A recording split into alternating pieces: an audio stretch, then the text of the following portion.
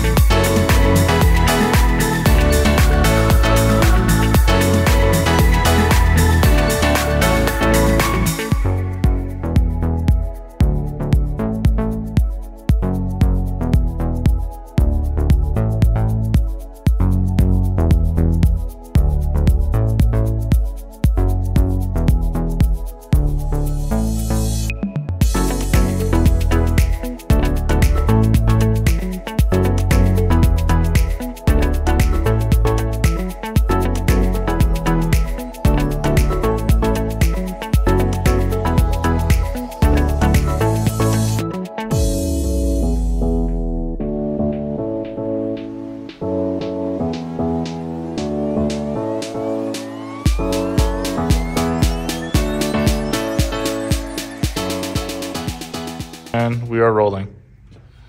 Just wanted to give a shout out to Bulletproof. We really appreciate all the dog training. Uh, Darrell himself is a great dog trainer. He keeps you updated uh, daily uh, on the progress of your animal. Videos. And it's night and day. And uh, we couldn't be more happy.